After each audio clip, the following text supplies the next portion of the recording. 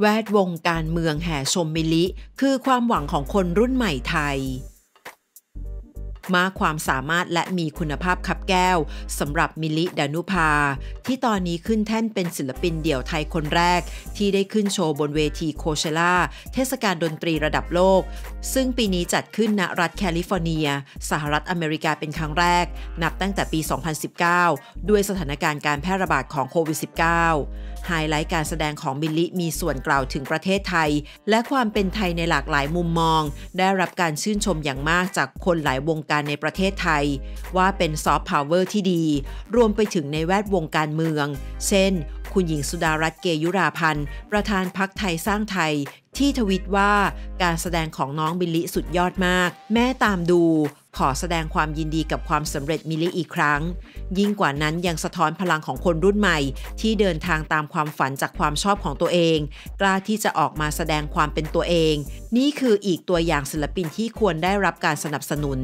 และนายพิธาลิมเจริญรัตสสบัญชีรายชื่อ และหัวหน้าพักก้าวไกล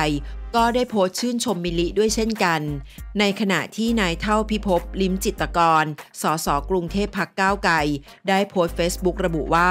ฉันภูมิใจในตัวเธอนะ มิลิ ถึงแม้จะไม่ได้รู้จักเป็นการส่วนตัว ทั้งฝ่ายค้านฝ่ายรัฐบาล ต่างพยายามพร่ำบอก รัฐบาลให้ทำซอฟต์พาวเวอร์ เพื่อที่จะกระตุ้นเศรษฐกิจไทย แต่รัฐส่งเสริมการท่องเที่ยว มองแต่สิ่งที่เห็นตรงหน้า แต่กลับไม่ให้โอกาสผู้คนให้แสดงความสามารถ กลับเลือกที่จะทำแบบครึ่งครึ่งกลางๆ ปิดกั้นสุดท้ายกลับศูนย์เปล่า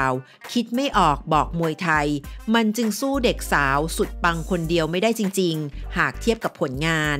น้องคงรู้สึกดี ถ้าหากมีผู้ใหญ่ในบ้านเรา คอยสนับสนุนให้น้องไปให้ถึงฝันในวันนี้ แต่ที่น่าเศร้าคือ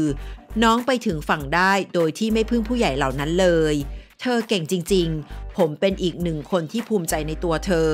บวกกับที่ผมชอบศิลปินค่าย 88 Rising เป็นทุนเดิมอยู่แล้ว มันยิ่งทำให้ภูมิใจในตัวเธอเข้าไปใหญ่ณนะในวันนี้ตัวเธอใหญ่โตมาก เธอมีความสามารถ และผมเชื่อว่าคนไทยอีกหลายคนก็มีความสามารถเช่นเดียวกัน แต่ไม่ใช่ทุกคนที่จะสามารถมีโอกาสในชีวิตในก้าวที่สำคัญ ในฐานะศิลปินได้ทุกคน ผมจึงมองว่า ภาครัฐควรให้ความสำคัญและผลักดัน มันคงจะดี ถ้าทุกคนสามารถมีโอกาสเป็นแบบมิลลิหรือลิซ่าได้ คนแบบมิลลินี่แหละคือสิ่งที่รัฐควรรีบจับตา